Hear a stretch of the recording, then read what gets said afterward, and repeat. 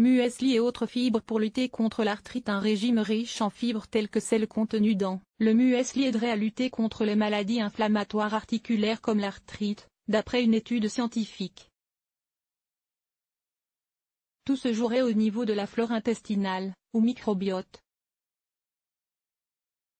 Recommandé entre autres pour un bon transit, un régime alimentaire riche en fibres végétales aurait également des effets positifs sur les maladies inflammatoires chroniques des articulations telles que l'arthrite. C'est en tout cas ce qui ressort d'une étude scientifique publiée dans la revue Nature Communication.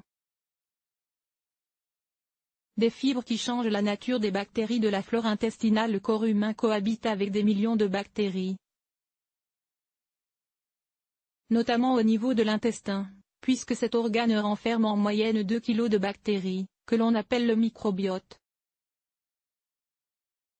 Si cet ensemble de bactéries est inoffensif, sa composition exacte a une influence sur notre santé, en favorisant ou défavorisant certaines maladies. Il a été montré que certaines bactéries, lorsqu'elles digèrent les fibres végétales issues des fruits, légumes, céréales, vont produire des acides gras à chaîne courte, AGCC, molécule à effet anti-inflammatoire.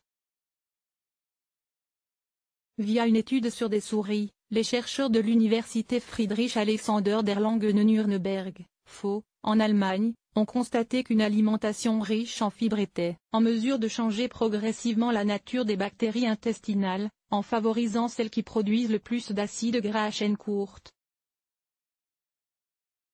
ils ont par la suite constaté qu'une plus grande concentration en acides gras à chaîne courte réduisait la dégradation osseuse, en protégeant le capital osseux. Du muesli tous les matins. En attendant un traitement innovant, nous avons pu montrer qu'un régime alimentaire respectueux des bactéries avait un effet anti-inflammatoire, ainsi qu'un effet positif sur la densité osseuse, résume le docteur Mario Zayesses auteur principal de l'étude. Nos résultats offrent une approche prometteuse pour développer des thérapies innovantes pour les maladies inflammatoires articulaires ainsi que pour le traitement de l'ostéoporose. Si nous ne sommes pas en mesure de donner des recommandations spécifiques pour un régime alimentaire favorable aux bactéries, manger du muesli tous les matins ainsi que des fruits et les légumes durant la journée aide à maintenir une grande variété d'espèces bactériennes, a conclu le scientifique.